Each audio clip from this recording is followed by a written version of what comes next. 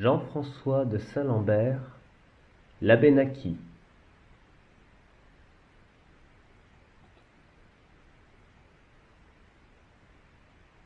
Pendant les dernières guerres de l'Amérique, une troupe de sauvages Abénakis défie un détachement anglais. Les vaincus ne purent échapper à des ennemis plus légers qu'eux à la course et acharnés à les poursuivre. Ils furent traités avec une barbarie dont il y a peu d'exemples, même dans ces contrées.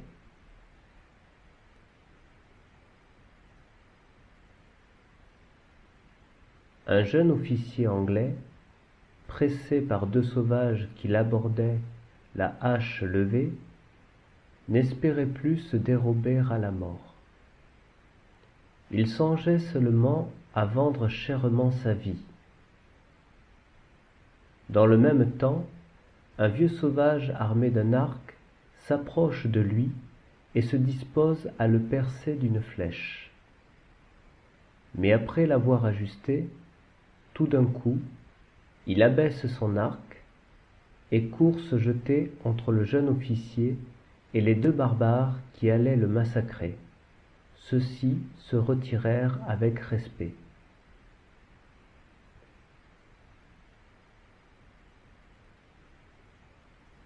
Le vieillard prit l'anglais par la main, le rassura par ses caresses, et le conduisit à sa cabane, où il le traita toujours avec une douceur qui ne se démentit jamais. Il en fit moins son esclave que son compagnon. Il lui apprit la langue des Abénakis et les arts grossiers en usage chez ces peuples. Ils vivaient fort contents l'un de l'autre. Une seule chose donnait de l'inquiétude au jeune Anglais. Quelquefois, le vieillard fixait les yeux sur lui, et après l'avoir regardé, il laissait tomber des larmes.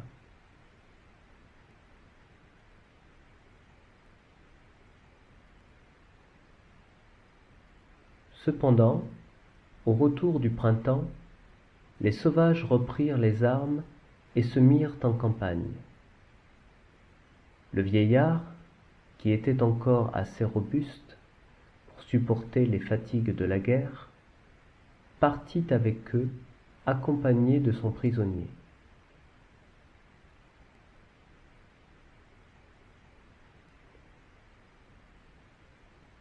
Les Abénakis firent une marche de plus de deux cents lieues à travers les forêts.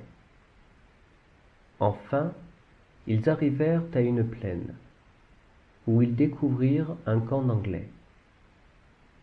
Le vieux sauvage le fit voir au jeune homme en observant sa contenance.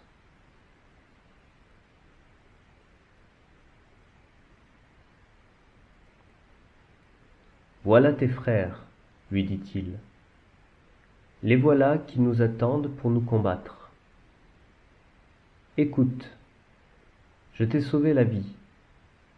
Je t'ai appris à faire un canot, un arc, des flèches, à surprendre l'orignal dans la forêt, à manier la hache et à enlever la chevelure à l'ennemi. Qu'étais-tu lorsque je t'ai conduit dans ma cabane? Tes mains étaient celles d'un enfant. Elles ne servaient ni à te nourrir, ni à te défendre. Ton âme était dans la nuit. Tu ne savais rien, tu me dois tout. Serais-tu assez ingrat pour te réunir à tes frères et pour lever la hache contre nous?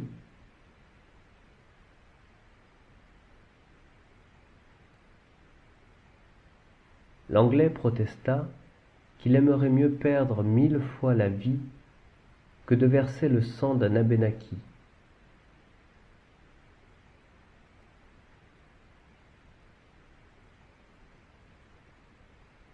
Le sauvage mit les deux mains sur son visage en baissant la tête.